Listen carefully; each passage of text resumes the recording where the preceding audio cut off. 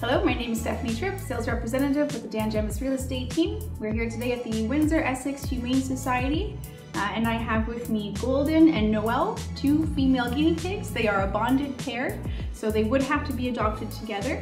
Um, if you're interested in coming and taking a look at these two lovely guinea pigs, um, they are here at the Windsor Essex Humane Society, um, and the contact information is on the.